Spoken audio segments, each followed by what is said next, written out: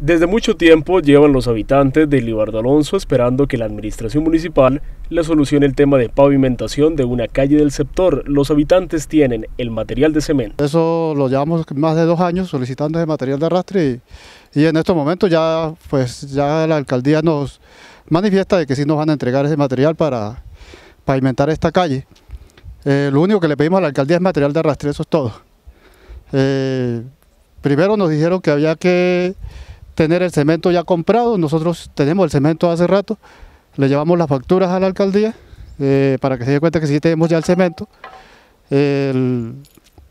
después nos dice que replanteáramos la calle para que empezara a echar material, ya le pasamos la maquinaria.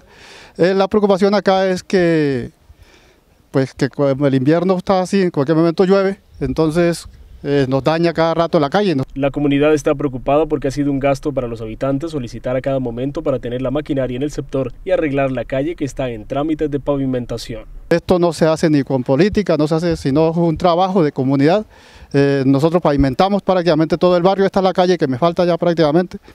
Lo hemos pavimentado todo el barrio con, de esa manera. Nosotros aportamos cemento, aportamos mano de obra, adecuamos eh, las calles, si hay que arreglar alcantarillado, nosotros mismos no nos ponemos a, llamar a las empresas porque venga a arreglar, sino que nosotros mismos como comunidad arreglamos todo eso, porque si llamamos a las empresas pues nos va a salir más costoso y de todas maneras nos van a, nos van a cobrar. Entonces. La comunidad espera que la administración municipal pueda darle solución antes de finalizar el año de gobierno.